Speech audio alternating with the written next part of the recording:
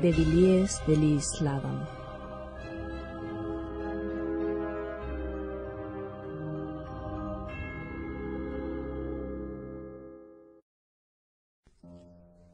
El amor es más fuerte que la muerte, dijo Salomón. Sí, su misterioso poder es ilimitado. Fue en un crepúsculo otoñal de París, en estos últimos años. Los carruajes retrasados del bosque, con las luces encendidas ya, rodaban hacia el sombrío barrio de Saint-Germain. Uno de ellos se detuvo ante la puerta de un amplio hotel señorial, rodeado de seculares jardines. En el arco aparecía un escudo de piedra, con las armas de la vetusta familia de los condes de. Una estrella de plata en el campo de azur, con la divisa pálida Victris, bajo la corona respaldada del principesco armiño. Las pesadas puertas se abrieron. Un hombre de treinta y cinco años, enlutado, con el rostro mortalmente pálido, descendió del carruaje. Taciturnos servidores portaban antorchas. Sin verlos, pisó el umbral y entró. Era el conde de Atol. Vacilante, ascendió por los blancos escalones que conducían a la habitación donde aquella precisa mañana había depositado en un féretro forrado de terciopelo y envuelta en violetas y batistas a Vera, su dama de voluptuosidad, su pálida esposa, su desesperación. Todos los objetos se encontraban en el lugar donde la condesa los había dejado la víspera. La muerte la había alcanzado de repente. La noche última, su bien amada se había desvanecido en goces tan profundos, se había perdido en tan exquisitos vínculos, que su corazón, roto de delicias, había desfallecido.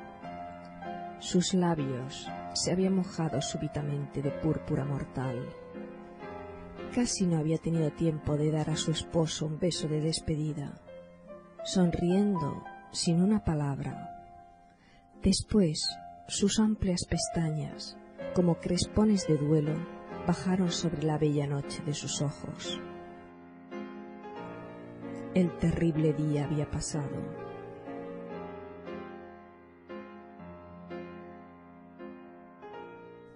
Hacia el mediodía, el conde de Atol, tras la fúnebre ceremonia en el panteón familiar, recibió en el cementerio el pésame de la enlutada escolta.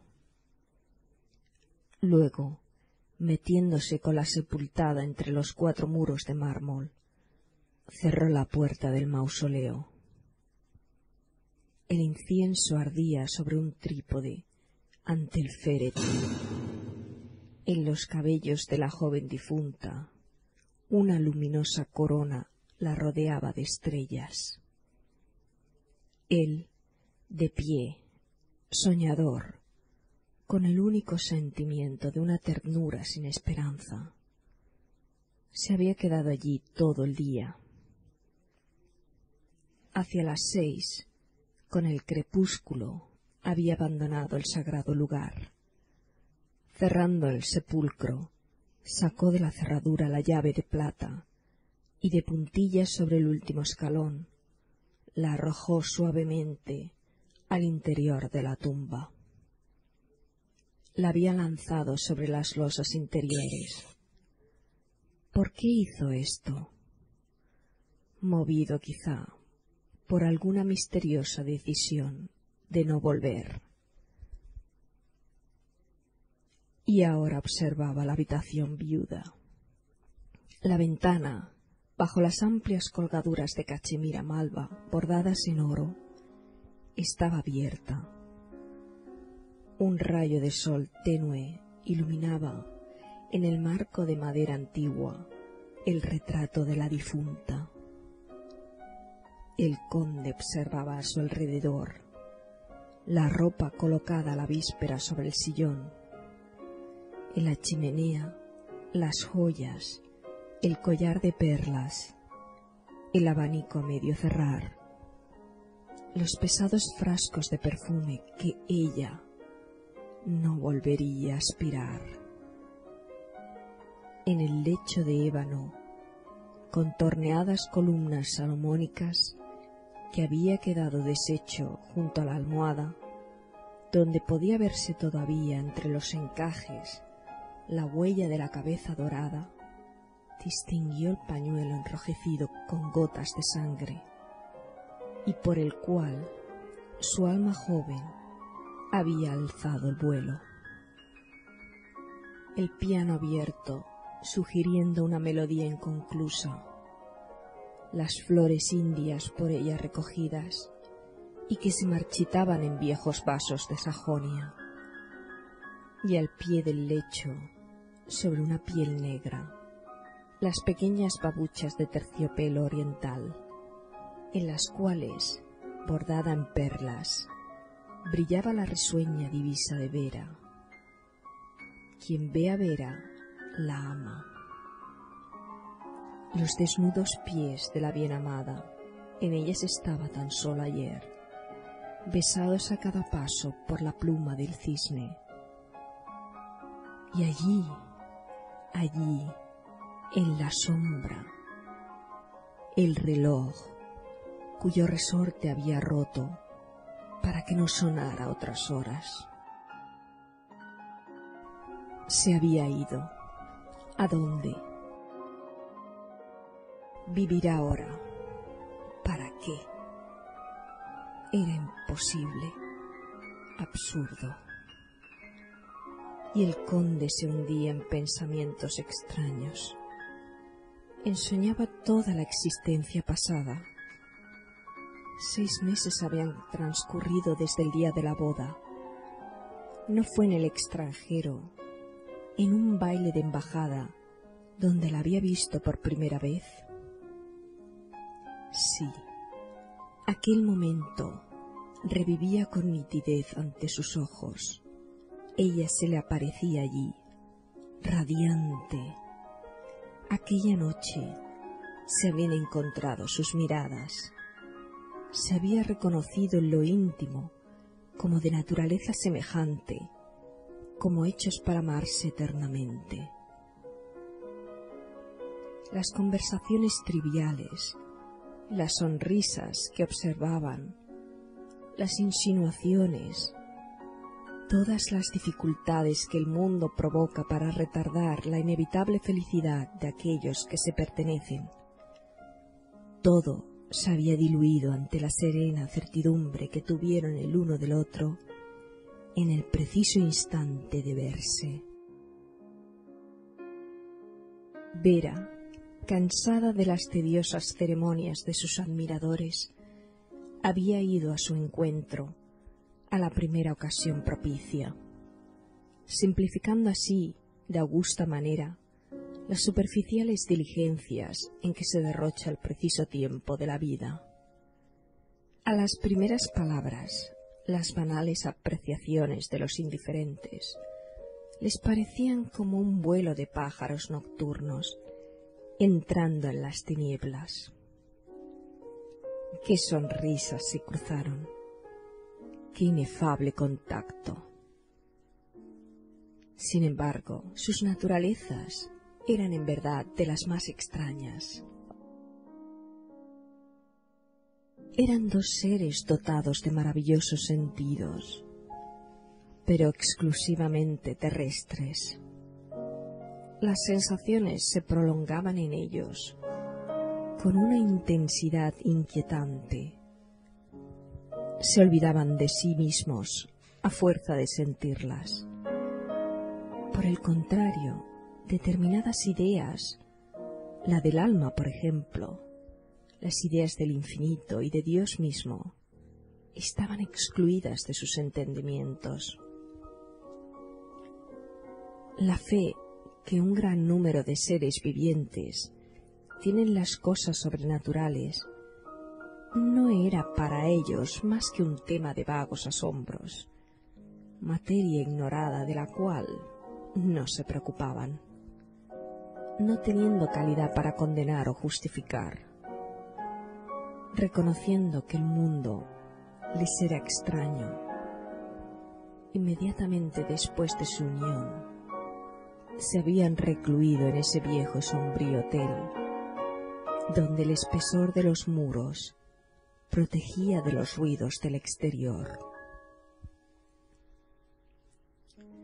Allí, los dos amantes se enterraron en el océano de esos goces lánguidos y perversos, en los cuales el espíritu se mezcla a la carne misteriosa.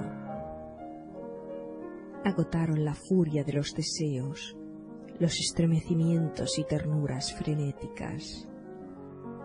Confundieron mutuamente la palpitación de sus seres. En ellos el espíritu penetraba de tal manera en el cuerpo que sus formas les parecían intelectuales y que los besos, como mallas ardientes, les encadenaban en una fusión ideal. ¡Qué gran desvanecimiento! Y de repente el encanto se rompe. El terrible accidente les separa. Sus brazos se habían desenlazado. ¿Qué sombra le había arrebatado a su querida muerta? Muerta. No. ¿Acaso el alma de los violonchelos desaparece con el chasquido de una cuerda que se rompe? Las horas transcurrían. Por la ventana observaba la noche penetrando por el cielo y la noche le parecía personal. Le parecía una reina partiendo al exilio con melancolía, y el broche de diamantes de su túnica de duelos, Venus, sola, brillaba sobre los árboles, perdida en el fondo de azul. Es Vera, pensó. Al pronunciar este nombre en voz baja, se estremeció como hombre que vuelve a la realidad. Después, incorporándose, miró a su alrededor. Los objetos de la habitación estaban alumbrados ahora por una luz hasta entonces imprecisa, la de una lamparilla que teñía de azul las tinieblas y que la noche, desde el firmamento, hacía aparecer aquí como una estrella. Era la lamparilla de un icono, reliquia familiar de Vera, el tríptico de una vieja madera preciosa. Estaba suspendido entre el espejo y el retrato.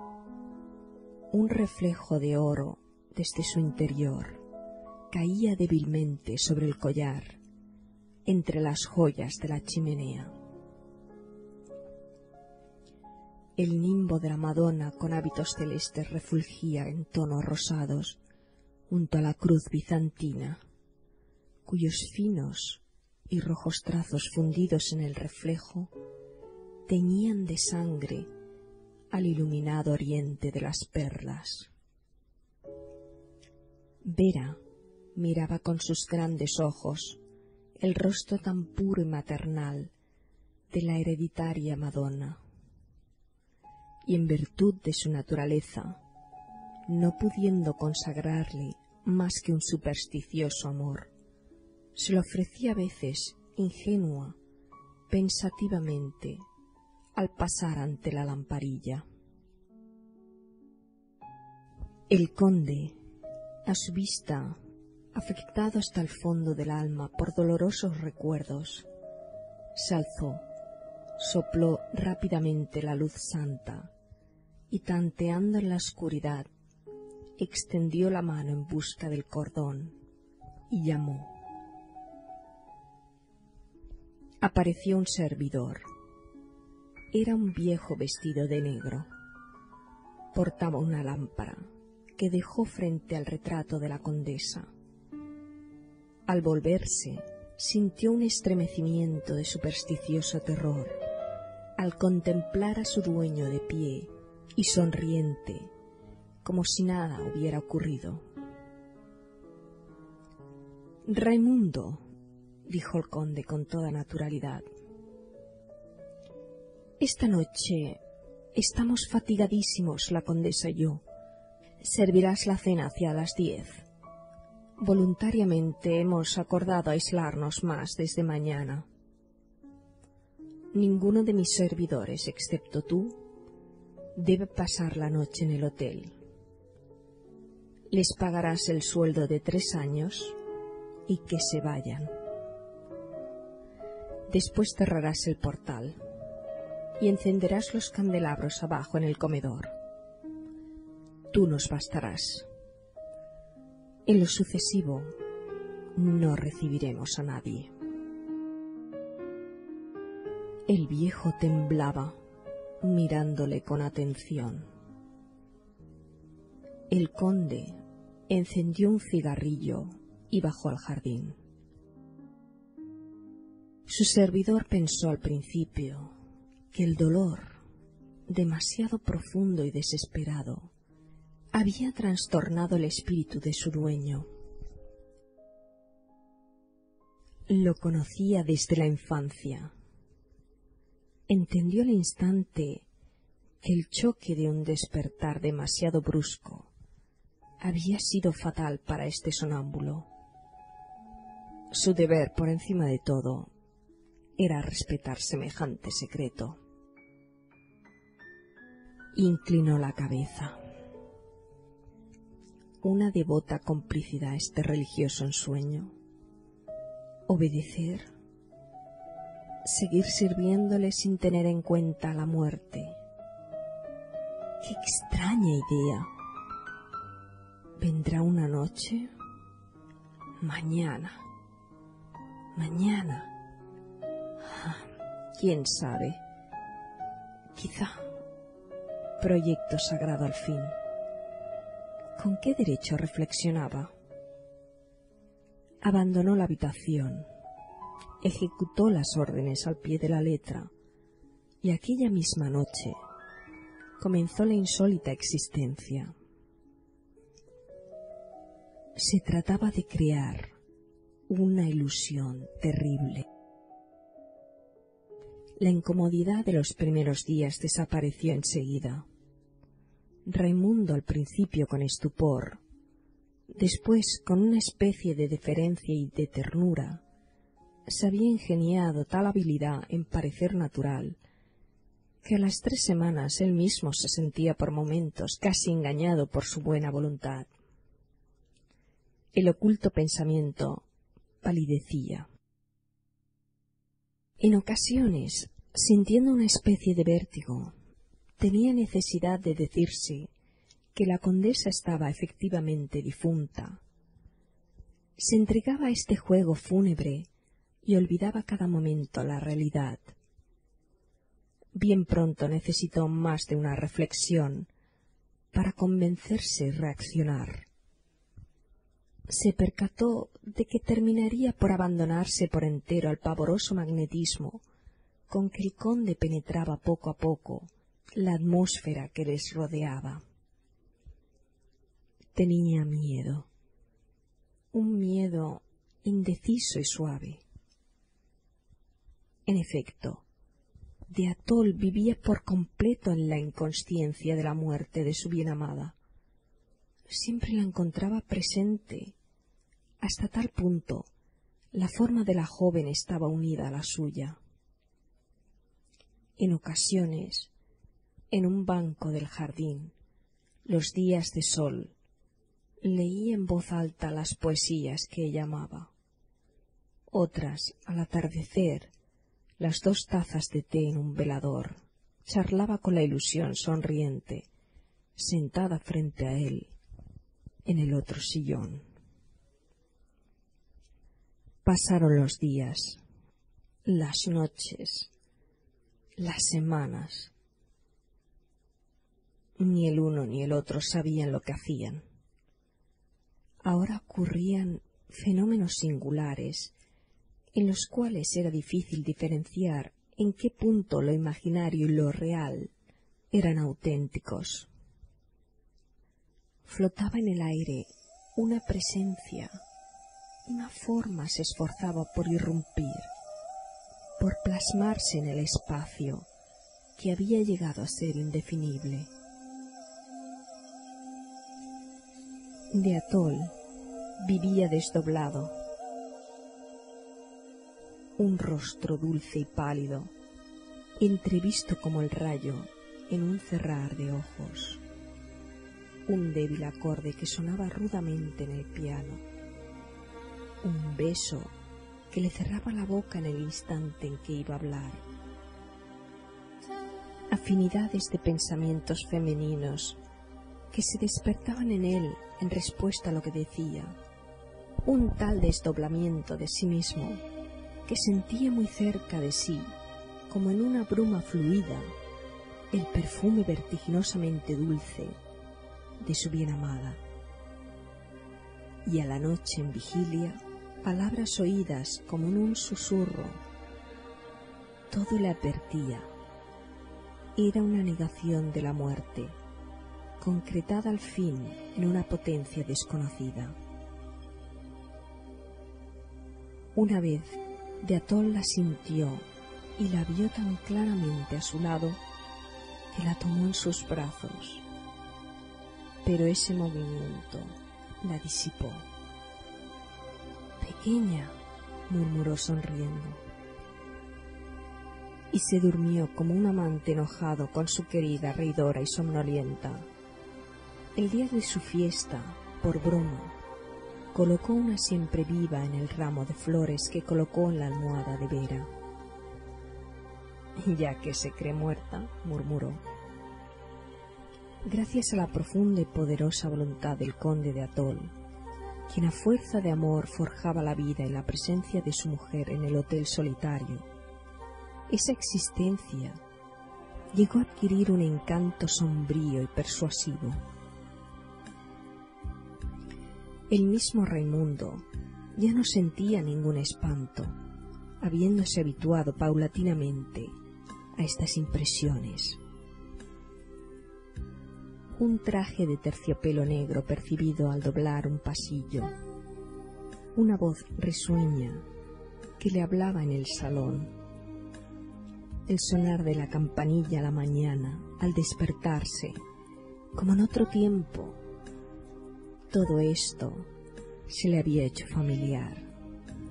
Si hubiera dicho que la muerta jugaba a ser invisible, como una niña, de tal forma se sentía amada, era muy natural.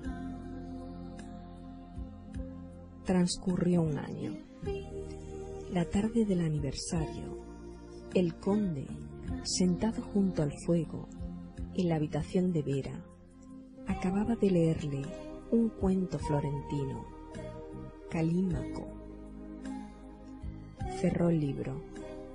Luego, echando el té.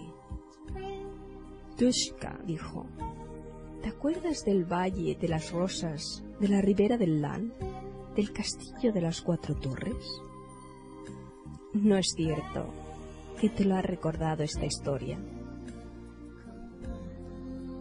Se incorporó y en el espejo azulado se vio más pálido que de costumbre. Tomó un brazalete de perlas y las miró con atención. ¿No las había quitado Vera de su brazo ahora mismo, antes de desnudarse? Las perlas todavía estaban tibias y su oriente más suavizado, como por el calor de su carne. Y el ópalo de ese collar siberiano que amaba el bello seno de Vera hasta languidecer morbosamente en su engaste de oro, cuando la joven olvidaba ponerlo durante algún tiempo. La condesa amaba por eso esta piedra fiel. Esta tarde el ópalo brillaba como si acabara de ser quitado y como si el exquisito magnetismo de la hermosa muerta le penetrara todavía. Dejando el collar y la piedra preciosa, el conde tocó por casualidad el pañuelo de Batista, cuyas gotas de sangre estaban húmedas y rojas como claveles sobre nieve. Allí, en el piano, ¿quién había pasado la página final de la melodía de antaño? Si hasta la lamparilla sacra se había vuelto a encender en el relicario. Sí, su llama dorada alumbraba místicamente el rostro con los ojos cerrados de la Madonna y esas flores orientales que se desmayaban en los viejos vasos de Sajonia. ¿Qué mano acababa de colocarlos? La habitación parecía alegre y dotada de vida, de manera más plena y significativa que de costumbre. Pero nada podía sorprender al conde. Todo le parecía tan natural que no prestó atención a que sonaba la hora en el reloj parado desde hacía un año. No obstante, se hubiera dicho que aquella tarde, desde el corazón de las tinieblas, la condesa Vera se esforzaba adorablemente por volver a esta habitación embalsamada por su recuerdo. Había dejado en ella tanto de sí misma cuanto había constituido su existencia la atraía. Flotaba en ella un encanto, las constantes violentas de la apasionada voluntad de su esposo. Sin duda habían desatado los vagos lazos de lo invisible en torno suyo. Se la necesitaba allí, cuando amaba, se encontraba allí. Deseaba aún venir a sonreírse en este espejo misterioso, donde había admirado tantas veces su rostro lilial. La dulce muerta, allá abajo, se había agitado efectivamente en sus violetas, bajo las lámparas apagadas. La divina muerta se había estremecido, totalmente sola, mirando la llave de plata arrojada sobre las losas. También ella quería volver con él, y su voluntad se perdía en la idea del incienso y del aislamiento. La muerte no es sino una circunstancia definitiva para quienes esperan el cielo, pero la muerte, el cielo y la vida, ¿qué eran para ella sino sus besos?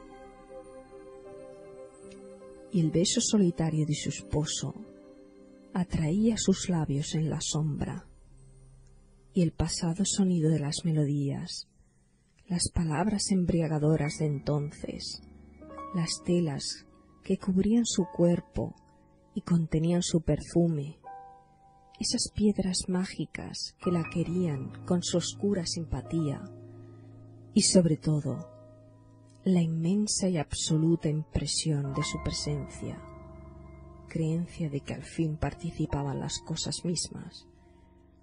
Todo la llamaba, la traía desde hacía tanto tiempo, y tan insensiblemente que, curada ya de la durmiente muerta, ella sola faltaba. Ah, las ideas parecen seres vivos. El conde había huecado en el aire la forma de su amor, y era preciso que ese vacío se llenara con el único ser que le era homogéneo. De no ser así, el universo se hubiera hundido. En ese instante tuvo la impresión definitiva, simple, absoluta, de que era necesario que ella estuviera allí, en la habitación. Estaba tan serenamente cierto de ello, como de su propia existencia. Y todas las cosas en torno suyo estaban saturadas de esta convicción. Se la veía allí. Y como sólo faltaba la misma vera, tangible, exterior, era necesario que se encontrara allí y que el gran sueño de la vida y de la muerte entreabriera por un momento sus puertas infinitas. El camino de la resurrección había sido enviado hacia ella a través de la fe. Un fresco estallido de risa musical iluminó con su alegría el lecho nupcial. El conde se volvió y allí, ante sus ojos, hecha de voluntad y recuerdo, acodada claramente sobre la almohada de encaje, sosteniendo su mano los pesados cabellos negros, su boca exquisitamente entreabierta por una sonrisa de paradisíaca voluptuosidad, bella hasta enloquecer. Ella, condesa Vera, le miraba todavía adormecida. Dijo con una voz lejana. Se acercó a ella. Sus labios se unieron con júbilo divino, olvidadizo, inmortal, y entonces se percataron de que no eran realmente más que uno solo. Las horas desfloraban con su vuelo extraño este éxtasis donde se mezclaba por primera vez la tierra y el cielo. Súbitamente, el conde de Atol se estremeció, como conmovido por una reminiscencia fatal. Ah, ahora que recuerdo, exclamó. ¿Qué me sucede? Pero si tú estás muerta. En el preciso instante, a esta frase, la mística lamparilla del icono se apagó. La pálida luz matinal de una mañana banal, grisácea y lluviosa, se filtró en la habitación por los intersticios de las cortinas. Las bujías se extinguían y apagaban dejando humear acremente sus mechas rojizas. El fuego desapareció bajo un lecho de cenizas tibias. Las flores se marchitaron en un instante. El péndulo del reloj fue adquiriendo gradualmente su inmovilidad. La certidumbre de todos los objetos desapareció súbitamente. El ópalo, muerto, no brillaba ya las manchas de sangre se habían coagulado también en el pañuelo, cercano a la piedra preciosa, y borrándose entre los brazos desesperados que intentaban en vano retenerla, la ardiente y blanca visión presentó el aire para perderse en él. Un débil suspiro de despedida, distinto, lejano, llegó hasta el alma de Roger. El conde se enderezó. Acababa de notar que estaba solo. Su sueño acababa de esfumarse de un golpe. Había roto el magnético hilo de su ficción radiante con una sola palabra. La atmósfera ahora estaba llena de difuntos, como lágrimas de vidrios agrupadas ilógicamente y tan sólidas que un mazazo no las rompería, pero que se deshacen en repentino impalpable polvillo si se rompe en su extremidad, más fina que la punta de una aguja. Todo se había desvanecido. Oh, murmuró. Todo ha concluido perdida. Estáis sola otra vez. ¿Qué camino podría llevarme ahora hacia ti? Señálame el camino que me lleve a tu encuentro. De repente, como una respuesta, un objeto brillante cayó con ruido metálico del lecho nupcial a la piel negra un rayo del enrarecido día terrestre lo iluminó. El abandonado se inclinó, lo cogió y al reconocer el objeto, una sonrisa sublime iluminó su rostro. Era la llave de la tumba.